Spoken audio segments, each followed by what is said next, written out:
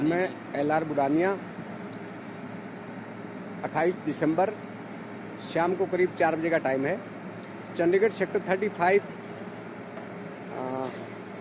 B में जो सी ए institute जो है, इसके सामने जो रोड पे पानी लीकेज था करीब तीन महीने से, वो ठीक हो गया है। उसके लिए मैं प्रशासन का धन्यवाद करता हूँ।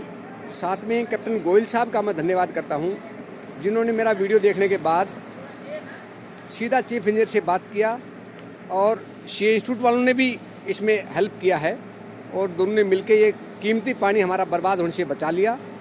पानी बचाना हमारी सबकी ज़िम्मेदारी है और पिछले तीन महीने से ये पानी लीकेज था और अब ठीक हो गया। इसके लिए जितनी धन्यवाद इनका किया जाए, उतना कम है।